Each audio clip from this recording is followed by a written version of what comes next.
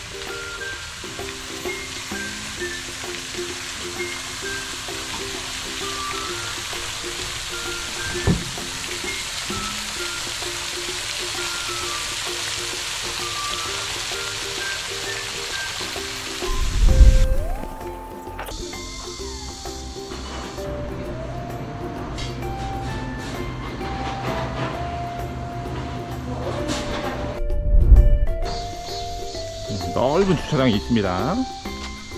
주차 걱정 안 하시고 오셔도 되겠습니다.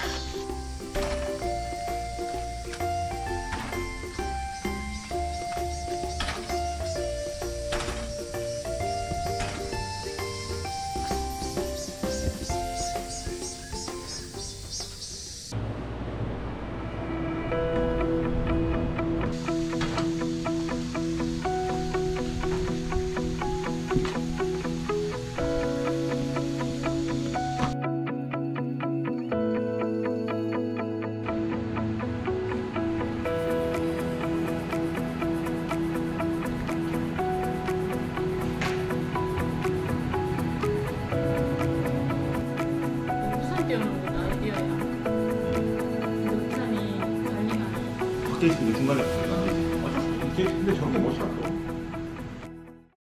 네, 여러분 지금까지 둘러보셨는데요. 매미소리 들리시죠? 자연과 힐링도 할 수 있고 맛있는 커피도 마실 수 있고 그리고 한옥 임대도 할 수 있고 이만한 곳이 없는 것 같습니다. 그리고 가장 중요한 거 반려견 동반이 가능합니다. 저희 진순이도 데리고 여기 한번 와야겠어요. 이렇게 자연에서 힐링할 수 있는 곳 여주로 오셨으면 좋겠습니다. 저희가 지난번에 이현수 씨네 멜시볶음도 소개해 드렸잖아요. 여주에 오시면 멜시볶음에서 점심도 드시고 여기 카페에서 커피도 한 잔 마시고 볼 수 있는 곳이 너무 많거든요. 여주로 꼭 오셨으면 좋겠습니다. 아 그리고 아까 저 위에서 보여드렸던 한옥 임대도 가능하니까 하루 1박 2일 날 잡으셔서 여기 오셔서 커피 드시고 반려견하고 산책하시고 좋은 공기 마시고 한옥에서 한번 이렇게 또 체험해보는 그런 시간들을 가지시면 가족 단위로 너무 좋을 것 같습니다. 여주가 자꾸 발전하고 여러 분들이 오시는 것 같아서 저희도 여주에 살고 있다 보니까 이런 발전들이나 어떤 변화들이 참 마음이 뿌듯합니다. 여러분들도 귀촌 고민하시는 분들이 있으시다면 여주로 오세요. 오세요.